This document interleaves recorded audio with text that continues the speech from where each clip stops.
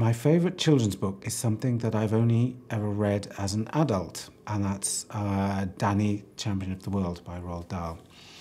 which I read um, not that long ago because I'd become a father and uh, I, I read it as potentially a book to read to my son, which I still haven't done, but it's the best book about fatherhood as well as being a great children's book. It's, it has this fantastic portrait of the ideal father, of someone who's